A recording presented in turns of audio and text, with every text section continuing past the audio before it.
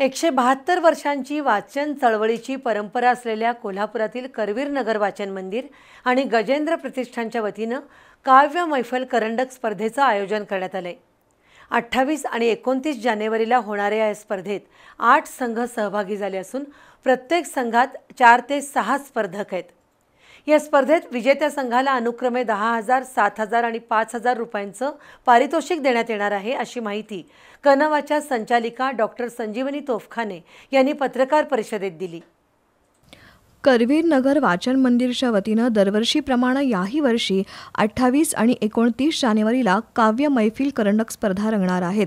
गजेंद्र प्रतिष्ठानच्या पुढाकारानं होणाऱ्या या स्पर्धेत अनेक उत्तमोत्तम आणि सरस कविता रसिकांना ऐकायला मिळणार आहेत.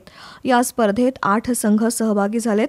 प्रत्येक संघामध्ये चार ते सहा स्पर्धक सहभागी आहेत. या स्पर्धेत प्रथम पुरस्कार विजेत्या संघाला दहा हजार रुपये आणि फिरता करंडक द्वितीय क्रमांक विजेत्या संघाला सात हजार रुपये आणि तृतीय क्रमांक विजेत्याला पाच हजार रुपये त्याशिवाय वैयक्तिक सन्मानचिन्ह देण्यात येणार आहे.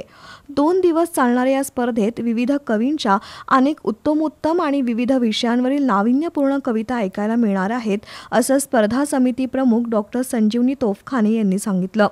पत्रकार परिषदेला कन्वाचे अध्यक्ष डॉक्टर नंदकुमार जोशी उपाध्यक्ष नंदकुमार मराठे डॉक्टर आशुतोष देशपांडे उदय सांगवडेकर मनीषा वाडीकर निलांबरी कुलकर्णी मनीषा शेणई उपस्थित होत्या.